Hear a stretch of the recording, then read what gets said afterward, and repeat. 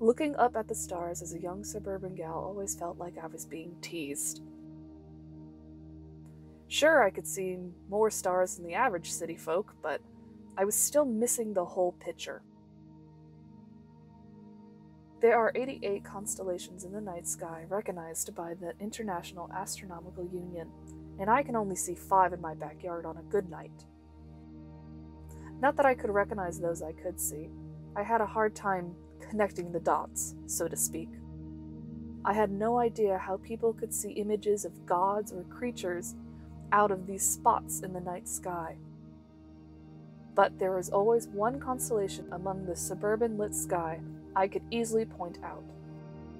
Or at least part of the constellation.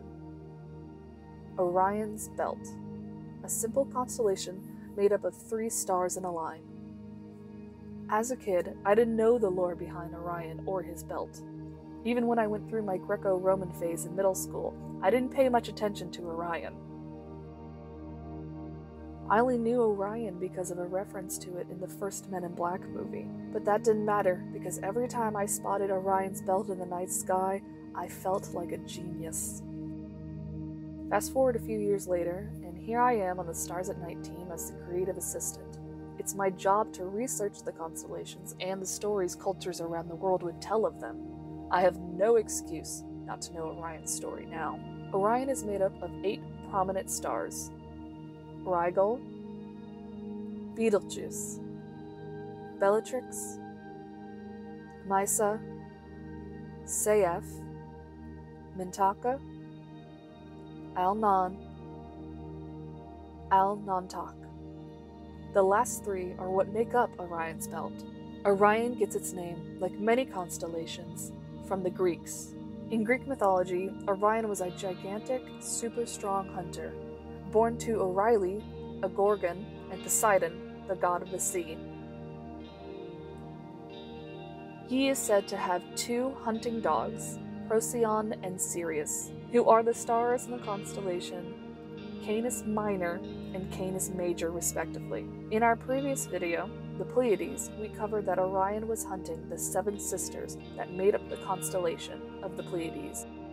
The constellation of Orion is said to still pursue them across the night sky. In Muslim astronomy, Orion is known as Al Jabbar, the giant.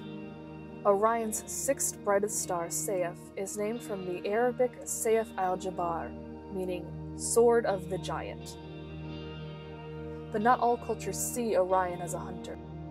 The Chinook, a northwestern Native American tribe located in present day Oregon, saw Orion's belt as a big canoe in the race to see who can be the first to catch a salmon in the Big River or the Milky Way.